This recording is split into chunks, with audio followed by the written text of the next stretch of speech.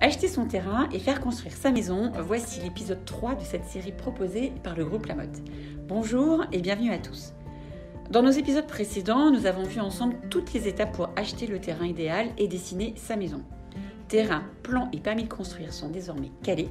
Le chantier de construction peut enfin démarrer.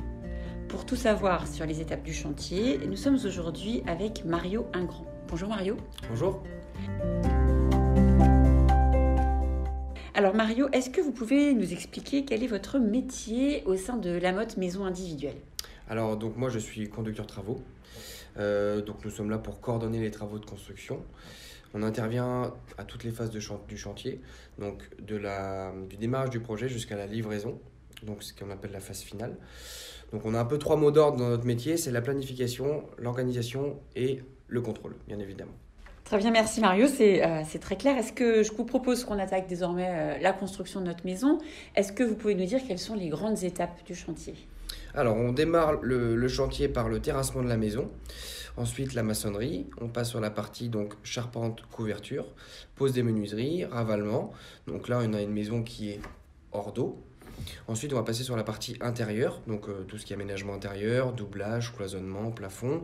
Puis ensuite, tous les lots techniques telles que la plomberie, le chauffage, l'électricité, et ensuite donc chape, carrelage, les poses des escaliers, et ensuite les finitions de la maison.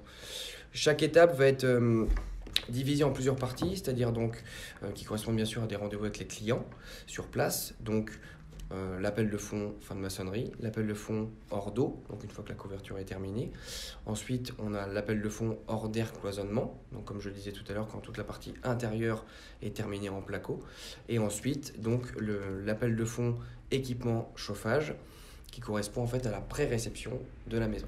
Donc sur tous ces appels de fonds, ça, signifie qu'en face, le client euh, vient dans la maison et vous faites un petit point avec lui à ce moment-là, c'est ça? Voilà, donc le client, donc je convoque le client sur place et on fait un rendez-vous de chantier euh, avec le client afin de lui montrer toutes les étapes de la construction. D'accord, très bien. Et alors, sur quelle étape est-ce qu'il faut être, euh, selon vous, hein, le, plus, le plus vigilant? Alors, pour notre métier de conducteur travaux, là où il faut être le plus vigilant, c'est sur la partie maçonnerie. C'est vraiment le corps humain, entre guillemets, euh, euh, de la maison, euh, notamment sur tout ce qui est ferraillage des fondations, ferraillage des planchers, afin que la maison soit faite dans les normes et soit conforme. D'accord. Et alors, qui s'assure de, de, la conformité de, de, la construction par rapport au plan, comme on disait tout à l'heure, par rapport aussi au, choix des matériaux pour répondre parfaitement aux attentes du client? Alors c'est nous, les conducteurs de travaux justement, qui venons sur place. On a ce rôle de vérification, comme je, comme je le disais tout à l'heure. Euh, on a une phase de contrôle qui est très importante. Donc à chaque étape clé euh, d'avancement du chantier, on vient, nous, conducteurs de travaux, avec l'entreprise euh, qui est responsable on va dire, du lot, mhm. vérifier, contrôler son travail et donner notre accord afin de pouvoir continuer la maison. Très bien. Alors, vous m'avez parlé tout à l'heure de maçonnerie, de charpente, de couverture, etc. Est-ce que, alors on, le sait, hein, nos, les futurs, euh, les primo-accédants, les futurs acquéreurs sont toujours très, très, très pressés d'installer dans leur maison.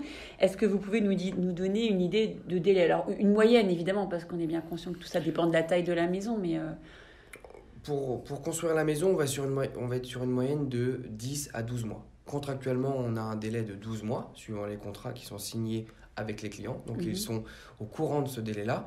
Néanmoins, suivant la surface de la maison, le type de construction, euh, les conditions climatiques, climatiques, etc., on va pouvoir aujourd'hui livrer des maisons plus rapidement aussi. Donc euh, ça peut être 10, 10 mois, 11 mois ou 12 mois comme prévu au contrat initial.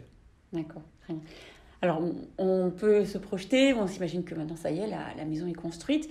Euh, on peut enfin peut-être parler de livraison. Comment ça se passe avec un CCMiste, une, livraison. Quels quel documents vous remettez? Quelle garanties euh, sont également euh, remises et proposées aux clients Alors pour la livraison de la maison, déjà nous au préalable, on va faire une pré-réception avec le client. Donc il va se dérouler un mois avant la livraison.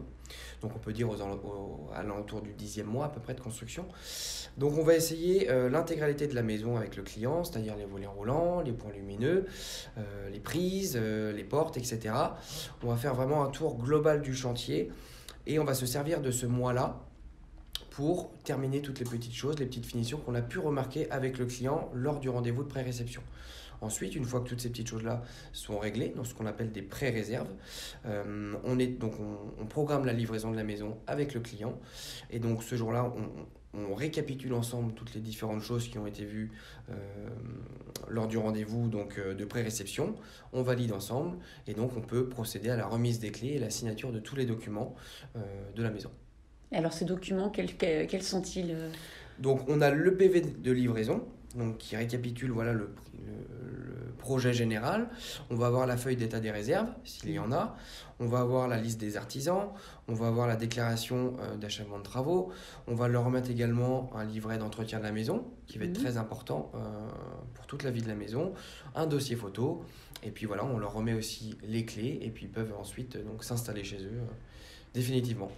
Et alors, est-ce qu'on peut également parler des garanties, Mario? Oui, alors euh, donc suite à la livraison de la maison, il va y avoir plusieurs garanties qui vont rentrer en compte, notamment la garantie décennale, la garantie biennale et pour finir la garantie de parfait achèvement.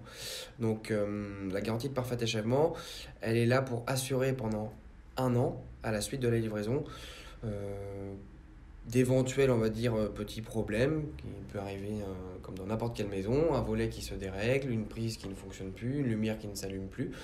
Euh, voilà, on va être là pendant un an auprès du client afin d'intervenir pour quelconque petit problème. Vous avez parlé tout à l'heure, Mario, d'un dossier photo qui était remis au, au, client. Alors, vous, en tant que constructeur, vous faites également des photos sur toutes les étapes de la construction de la maison. À quoi vous servent-elles, ces photos? Alors nous, en tant que constructeur, les photos vont nous servir euh, pour la traçabilité de la maison. Pour le client, ça va être aussi très important puisque on lui remet de ces photos-là et si un jour le client souhaite faire des modifications sur sa maison, ça lui permet, on va dire, de, de, connaître euh, tout le corps de la maison et de ne pas percer, ouvrir des murs, ouvrir des cloisons ou des sols euh, sans tomber sur une, une canalisation, une alimentation d'eau, etc. On, part vraiment sur, sur une possible évolution de la maison et de ces photos-là, justement, permet de ne pas faire d'erreur, entre guillemets pour les prochains travaux s'il y en a. Très bien, bah écoutez, un grand merci Mario. Euh, grâce à vous, on voit bien toutes les étapes du chantier et on voit bien notamment toute l'importance de passer par un CCMiste pour faire construire sa maison. Hein, on a du contrôle, de la sécurité, de la traçabilité. Donc euh, un grand merci, merci et, à et à très bientôt pour un prochain podcast du groupe Lamotte. Au revoir.